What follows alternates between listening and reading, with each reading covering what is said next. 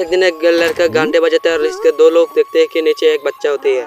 इसके बाद दोस्तों बच्चे के साथ वो क्या क्या वो देखने से पहले हाँ के लिए तो सब वीडियो पे लाइक करते है। आज देखते हैं पापा के लिए के लिए कितने लोग लाइक एंड चैनल को सब्सक्राइब करते हैं। मैं तो कर दिया। कमेंट में आई लव पापा भी लिख दिया। आप लोग क्या मुझे नहीं पता। तो वो बच्चों को फेंक देती है और वहाँ पर दोनों मज़े से दारू पीने लगती है।